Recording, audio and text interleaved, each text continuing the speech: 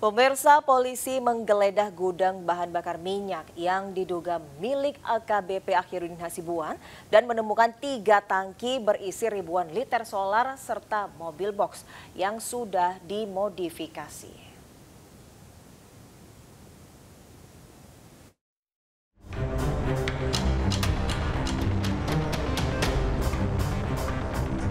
Polisi dan tim Pertamina menggeledah gudang solar di Jalan Guru Sinumba, Kota Medan, Sumatera Utara. Gudang BBM seluas 840 meter persegi ini diduga milik AKBP Akhirudin Hasibuan, ayah tersangka penganiayaan mahasiswa.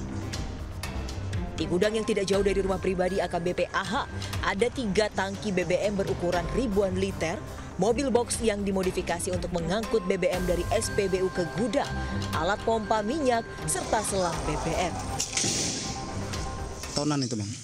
Kalau ngelihat kan baru ngelihat tangki yang itu aja tuh, yang di sebelah sini kan. Ada lambang Pertamina ya bang ya? Nah, ya kalau lambang itu kan bisa di mana aja gitu ya hmm. di ini. Tapi kan yang jelas itu bukan dari Pertamina ininya apa namanya. Hari ini penyidik uh, Trimsus uh, melakukan penggeledahan di lokasi yang berdasarkan informasi itu terdapat uh, gudang yang di dalamnya berisi tangki-tangki yang uh, BBM.